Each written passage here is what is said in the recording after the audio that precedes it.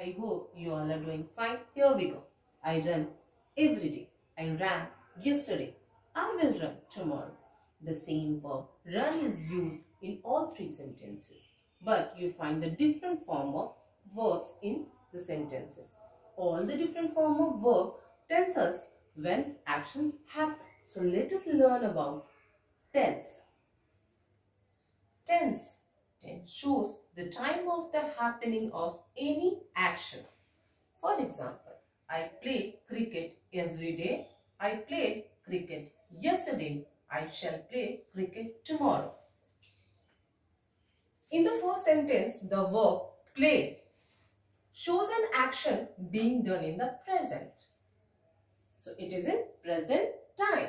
In the second sentence, the verb played an action already done in the past time. So it is past tense.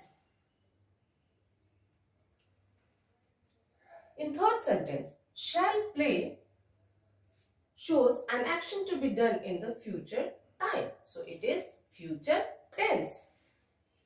Basically, there are three tenses. Present tense, past tense and future tense. So children, we will learn more about tenses in the next video. Thank you.